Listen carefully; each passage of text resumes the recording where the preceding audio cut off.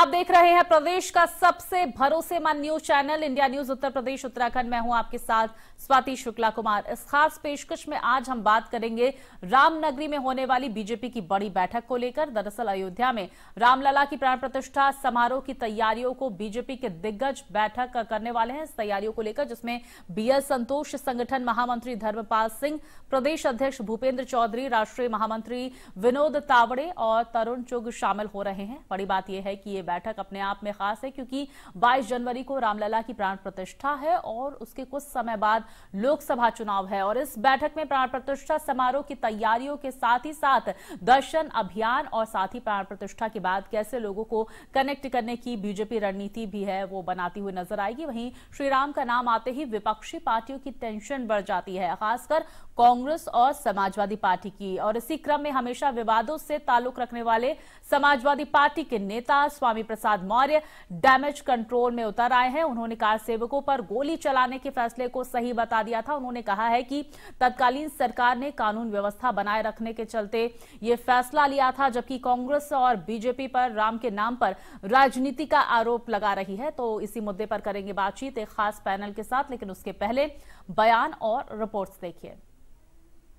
राम की मंदिर की जो प्राण प्रतिष्ठा होने जा रही है, ये पूरे विश्व का एक बड़ा उत्सव है। ये राम उत्सव जो मन रहा है, जिसमें पूरा विश्व राममय हो गया है, इससे विपक्ष में हताशा है।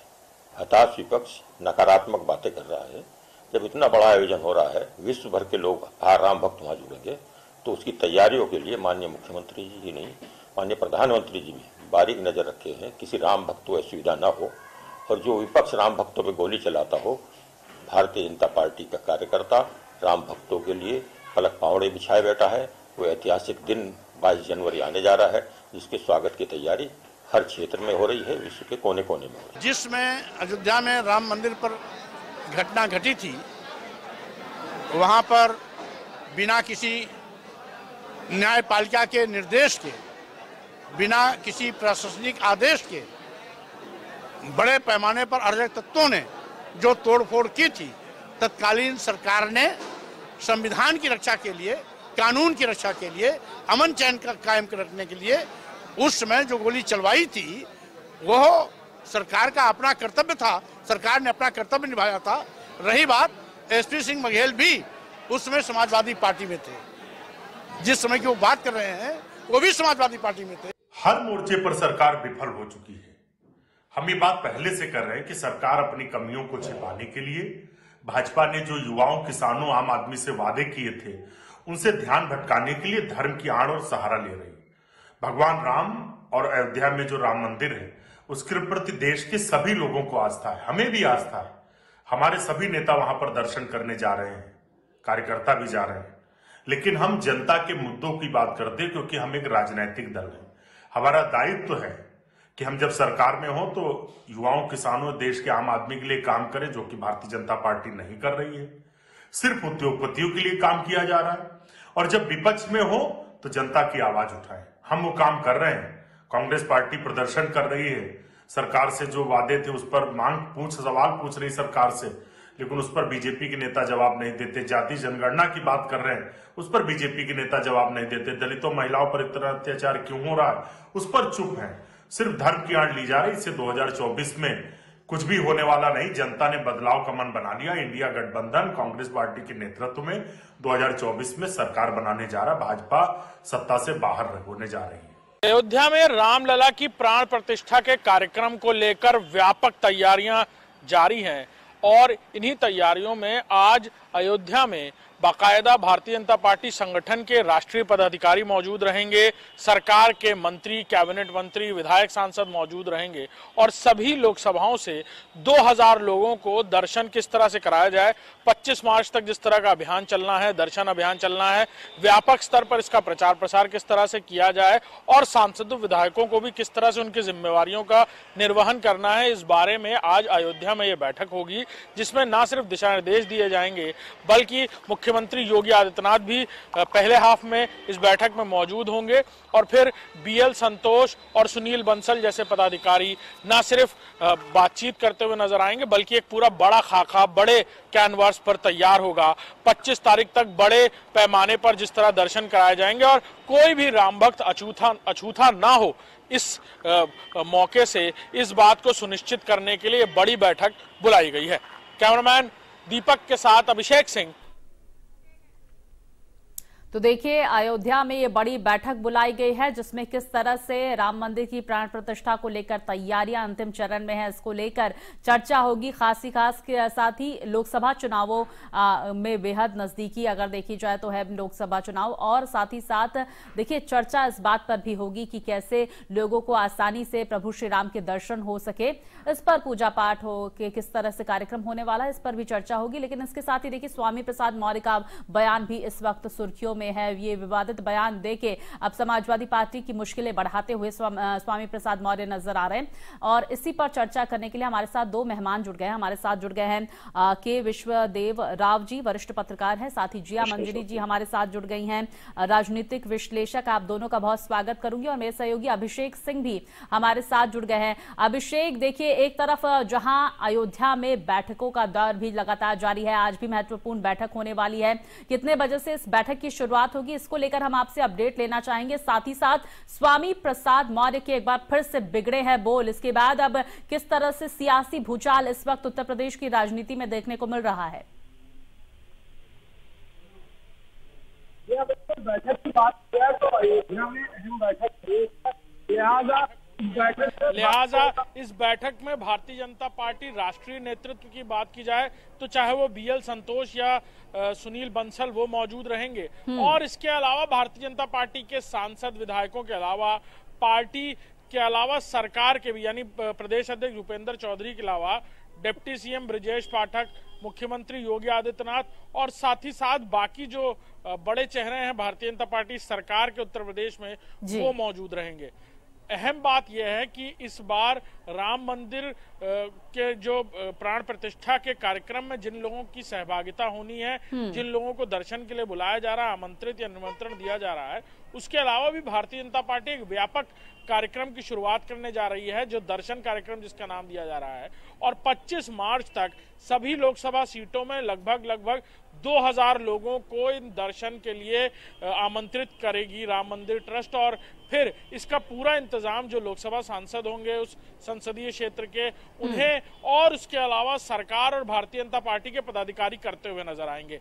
एक व्यापक तरीके से न सिर्फ़ रामलला के दर्शन के लिए पलक पावड़े बिछाए जाएँगे बल्कि बड़े व्यापक इंतज़ाम किए जाएँगे ताकि ज़्यादा से ज़्यादा लोग दर्शन लाभ ले सकें और हम्म। कोई भी राम भक्त अछूता ना रह, रहे इतने लंबे संघर्ष के बाद जब राम मंदिर का निर्माण हो रहा है और रामलला की प्राण प्रतिष्ठा हो रही है उसके हम्म। बाद कोई भी राम भक्त अछूता ना रहे इस बात को लेकर आज ये बड़ी बैठक बुलाई गई है बैठक में न सिर्फ़ रणनीति बल्कि आने वाले वक्त में ज़्यादा से ज़्यादा लोगों को कैसे श्री राम दर्शन लाभ हो पाए हम्म। इसका इंतज़ाम किया जाएगा और कैसे उसकी रणनीति रूपरेखा रोड मैप बनाया जाए इसको लेकर चर्चा होगी बिल्कुल, इसको लेकर चर्चा होगी और लखनऊ से मेरे सहयोगी अभिषेक जुड़े हुए अभिषेक, मैंने आपसे एक और सवाल किया था, जिस तरह से स्वामी प्रसाद मौर्य की तरफ़ से कार सेवकों पर गोली चलाना जायज़ करार दिया है। अब इस बयान के बाद से किस तरह की प्रतिक्रियाओं का दौर वहाँ पर उत्तर प्रदेश में देखने को मिल रहा है? क्योंकि हाल ही में अभी डेप्यूटी सीएम का बयान सामने आया, जिसमें उन्होंने कहा है कि जो अखिलेश यादव लिखकर देते हैं, वही स्वामी प्रसाद मौर्य बोलते हैं। ये बात केशव प्रसाद मौर्य की तरफ़ से कही गई है। बिल्कुल इस बात को लेकर अगर कहा जाए तो स्वामी प्रसाद मौर्य हम्म। अपनी इस तरह की बदजबानी के लिए पहली बार चर्चा में नहीं आए इससे पहले भी वो सनातन धर्म हिंदुत्व को लेकर कई सारी बातें कह चुके हैं और आज जब उन्हें लग रहा है कि उनकी बाज़ार ठंडी हो गई तो हम्म। उन्होंने फिर से एक छौका लगाने की कोशिश की है अपनी बाज़ार में और कहीं ना कहीं चर्चाओं में बने रहने के लिए या कहा जाए चर्चा बटोरने के लिए उन्होंने कुछ ऐसा कुछ कह जाता है कई बार जिसमें उनके पार्टी के लोग भी बैकफुट पे आते नज़र आते हैं। हम्म। इससे पहले जब उन्होंने हिंदुत्व को लेकर सवाल उठाए ये कहा कि हिंदू कोई धर्म नहीं तब बाकायदा डिम्पल यादव की तरफ़ से मैनपुरी में बयान दिया गया कि ये उनका निजी बयान है। हम्म। पार्टी को इससे लेना देना नहीं। हम्म। भले ही स्वामी प्रसाद मौर्य इस तरह के बयान बिल्कुल अभिषेक देखिए स्वामी प्रसाद मौर्य लगातार बयानबाजी कर रहे हैं लेकिन उन्हें कोई रोकने वाला फ़िलहाल नज़र नहीं आ रहा है। अभिषेक हमारे साथ दो मेहमान भी जुड़े हुए हैं, हम उनका भी रुख कर लेते हैं, उनसे भी जरा समझ लेते हैं। विश्वदेव राव जी, मैं आपके पास आऊँगी। देखिए, जिस तरह से अब बैठकों का दौर भी लगातार अयोध्या में जारी है, आज बीजेपी की यह बड़ी बैठक होने वाली है, जिसमें किस तरह से आम जनता को आसानी से दर्शन हो सके, किस तरह से इस प्राण प्रतिष्ठा को और भव्य बनाया जा सके, इस पर चर्चा होगी। इसके साथ ही हम इस पर हम आपकी प्रतिक्रिया लेना चाहेंगे, साथ ही साथ हम ये समझने की कोशिश करेंगे आपसे, सर, कि देखिए, स्वामी प्रसाद मौर्य जिस तरह से लगातार बयानबाजी दे रहे हैं। कभी वो रामचरित मानस की प्रतियाँ जलाते हैं, कभी वो विवादित बयान देते हैं रामचरित मानस पर, कभी साधु संतों को आतंकी कहते हैं, ब्राह्मण समाज पर निशाना साधते हैं, प्राण प्रतिष्ठा को ड्रामा करार देते हैं। अब क्या लगता है इस तरह के बयानबाजी को थमना, थामना चाहिए समाजवादी पार्टी की तरफ़ से? क्योंकि अखिलेश यादव ने इस तरह की बयानबाजी देने से मना किया, लेकिन रोकते भी नहीं है। क्यों आखिर इस तरह की बयानबाजी सामने आती है स्वामी प्रसाद मौर्य की?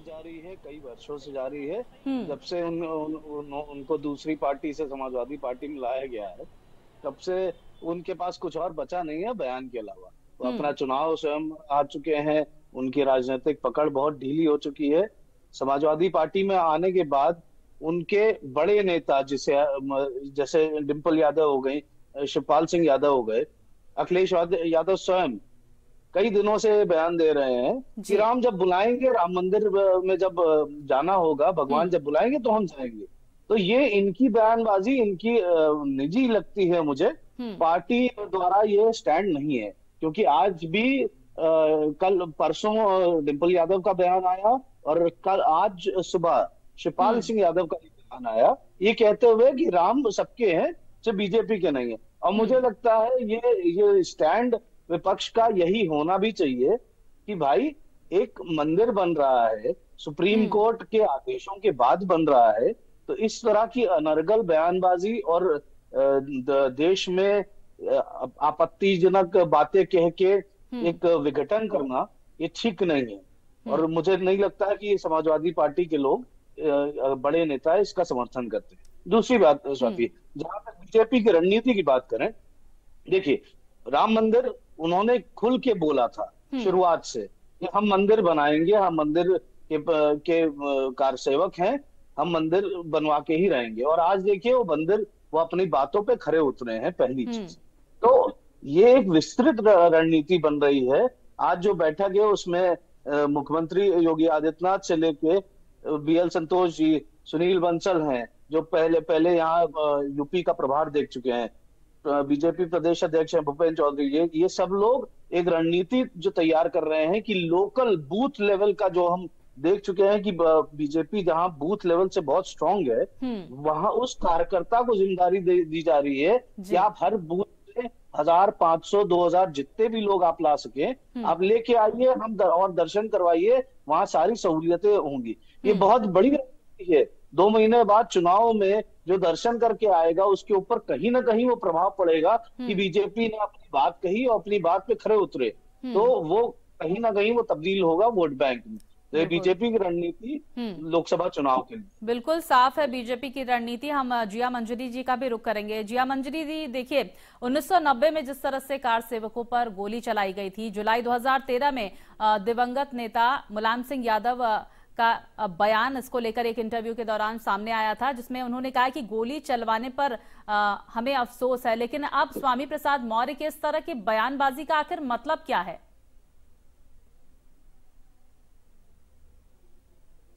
जी। स्वामी प्रसाद मौर्य जी स्वाति हमेशा से इस प्रकार के विवादित बयान देते आए हैं। हम्म। और आप देखिए कि ये बौखलाहट है। ये हम्म। बौखलाहट है अब ये पहले मोदी विरोधी हुआ करते थे और अब ये धर्म विरोधी हो चुके हैं हम्म। आप ये देखिए कि बहुल्य समाज जो है अस्सी प्रतिशत आबादी अगर हिंदू है राष्ट्र में तो उस हिंदू की भावनाओं की रिस्पॉन्सिबिलिटी कौन लेगा 2013 में जब दंगे हुए थे मुजफ्फरपुर के मुजफ्फरनगर हम्म। के तो उस समय पे क्यों नहीं गोली चलाने के आदेश दिए गए थे उस समय तो सपा की गवर्नमेंट थी यदि अराजक तत्वों को रोकने के लिए आप बोली चलवाने का ऐसा इस प्रकार का नियम निकालते हैं इस प्रकार की यू नो इंस्ट्रक्शंस देते हैं तो उस समय भी होना चाहिए ना जहाँ पे क्या आपको हिंदू ही अराजक तत्व दिखता है हम्म या आपको मुस्लिम नहीं दिखता है या आप दंगे में भी डिफरेंशिएट करते हैं कि हम्म। किस प्रकार के दंगे हैं आप ये बताइए कि कितनी सारी अवैध मस्जिदें बनी हुई हैं उसके खिलाफ क्या किया विपक्ष ने हम्म। आज तक तो ये बड़ी दुख की बात है कि इतना भव्य काम हो रहा है राम मंदिर बन गया है और प्रभु रामलला प्रतिष्ठित हो रहे हैं और उस समय इस प्रकार के विवादित बयान देना ये मतलब सीधा एक तर्क है कि 80 प्रतिशत जो आबादी हम्म। भारत में हिंदू रहती है या विश्व में जो हिंदू आबादी है उसके खिलाफ है हम्म। जी बिल्कुल देखिए महत्वपूर्ण बात कही आपने जिया मंजरी जी और इसी को लेकर मेरा सवाल राव साहब से भी है। राव साहब देखिए जिस तरह से सकारात्मक माहौल इस वक्त हर जगह देखा जा रहा है लोग भक्ति में डूबे हुए हैं प्रभु श्री राम की प्राण प्रतिष्ठा का इंतज़ार कर रहे हैं ऐसे में इस तरह के नकारात्मक बयानबाजी करना क्या लगता है इसका कहीं ना कहीं खामियाजा लोकसभा चुनावों में, अ, में देखने को मिलेगा समाजवादी पार्टी को और साथ ही अब इंडिया गठबंधन पे भी? स्वाति बिल्कुल सही बात कही आपने। जिया जी ने भी बहुत अच्छे पॉइंट उठाए। मेरा मेरा कहना दूसरा है आप इस इस विवाद को इस बात को हम्म। एक अलग नज़रिए से देखिए। हम्म। आप बोलते हैं उत्तर प्रदेश के नेता हैं आप। हम्म। उत्तर प्रदेश में कितना फंड आएगा कितना बिज़नेस आएगा। सिर्फ़ एक अयोध्या में राम मंदिर बनने की वजह से ये कभी सोचा है आपने? अभी तक जो इन्वेस्टमेंट अपॉर्चुनिटीज़ आई हैं अयोध्या में लेके इंटरनेशनल फ़्लाइट अयोध्या में चालू हो रही है। हम्म। एयर एयर नया रेलवे स्टेशन बना है जो वर्ल्ड क्लास लेवल का है। हम्म। वहाँ की लखनऊ से कनेक्टिविटी हो गई है दिल्ली से कनेक्टिविटी हो गई है हम्म। पूरे देश भर के से कनेक्टिविटी हो गई है। इकोनॉमिक अगर चीज़ें देखें। पैसे के हिसाब से पैसे की सोच रखी है अगर सिर्फ़ शुद्ध। तो उसमें उसमें भी आप देखेंगे कि अयोध्या की वजह से हम्म एक जो कैपिटल इन्वेस्टमेंट इंफ्रास्ट्रक्चर इन्वेस्टमेंट हाँ जो कैपेबिलिटी जो बढ़ रही हैं हम्म। उत्तर प्रदेश के लोगों के लिए हम्म। वो सीमित हो गई है तो आप नज़रिया बदलिए सो मेरा मेरा ये अनुरोध होगा स्वामी प्रसाद मौर्य एक बात और बोलना चाहूँगी हम्म। विश्वजीत जी की बात से बिल्कुल सहमत हूँ देखिए हमारे यहाँ ये कुछ नया नहीं है हम्म। टेंपल इकोसिस्टम बहुत पुराना है एंशियंट टाइम से चला आ रहा है। हम्म। टेंपल जो भी होते थे जो मंदिर होते थे वो स्वयं में एक व्यवसायिक केंद्र हुआ करते थे। हम्म। वहाँ पर बहुत सारी ऐसी गतिविधियाँ होती थी जहाँ पे कि दूसरे प्रदेशों से लोग आते थे। वहाँ पे कला का एक दूसरे से आदान प्रदान होता था विचारों का आदान प्रदान होता था वैचारिक आदान प्रदान होते थे। साथ में अन्न कोष चलते थे स्कूल चलते थे हम्म। गुरुकुल चलते थे। और इस प्रकार की तो आप ये देखिए कि टेंपल इकोसिस्टम को रिवाइव करने का समय है। हम्म। और इस इससे इकोनॉमी को कितना बूस्ट मिल सकता है हम्म। ये देखने की बात है। इसके साथ में मैं बोलूँगी कि एक हाँ। डिवोशनल टूरिज़्म स्टार्ट हो रहा है पूरे हम्म। देश में।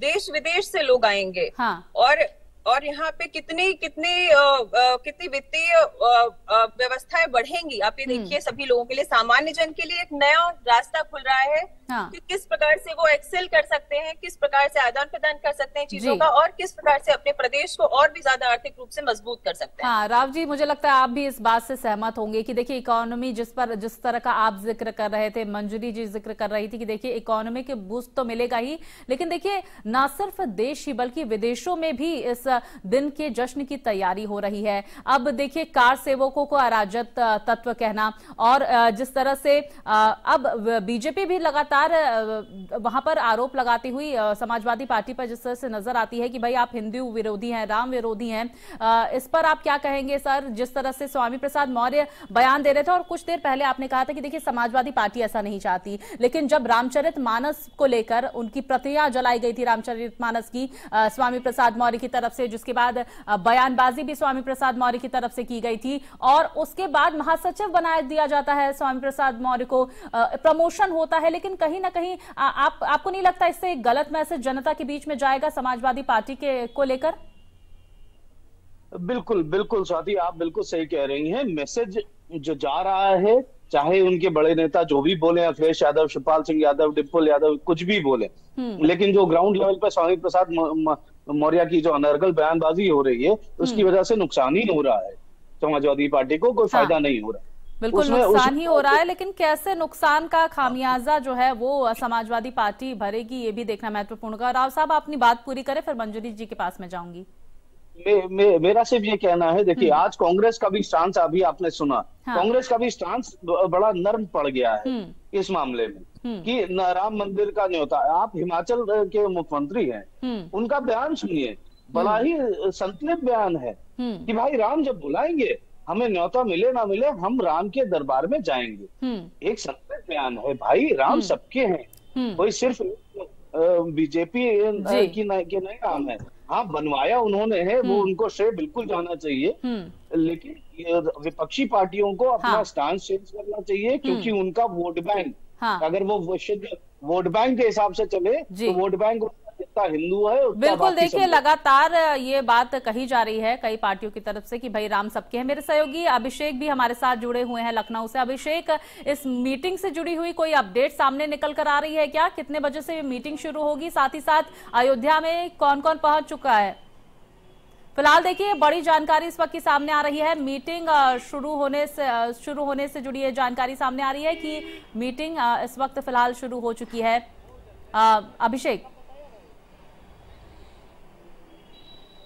जी हाँ बिल्कुल बैठक शुरू हो चुकी है क्योंकि मुख्यमंत्री को बैठक के ठीक बाद बाकी कार्यक्रमों में भी जाना होगा हम्म। लिहाजा मुख्यमंत्री के समक्ष ये बैठक की शुरुआत हुई है बीएल संतोष और जो संगठन के बाकी पदाधिकारी हैं कहा जाए कि राष्ट्रीय स्तर के जो पदाधिकारी हैं सुनील बंसल हम्म। और साथ ही साथ प्रदेश अध्यक्ष भूपेंद्र चौधरी के अलावा सांसद और भारतीय जनता पार्टी की उत्तर प्रदेश की जो सरकार है उसके बड़े चेहरे यानी डिप्टी सीएम ब्रजेश पाठक और आला कैबिनेट मंत्री पर्यटन मंत्री ठाकुर जयवीर सिंह के अलावा हम्म। और भी कई कैबिनेट मंत्री इस बैठक में मौजूद हैं बैठक में ये पूरी तरह से एक रोड मैप सुनिश्चित किया जाएगा हम्म। और बैठक की शुरुआत में ही जो संगठन मंत्री हैं सुनील बंसल उनकी तरफ़ से और साथ ही साथ बीएल संतोष की तरफ़ से रूपरेखा रखी गई कि किस तरह 25 मार्च तक हम्म। ये व्यापक तरीके से जो कार्यक्रम है इसकी शुरुआत होगी।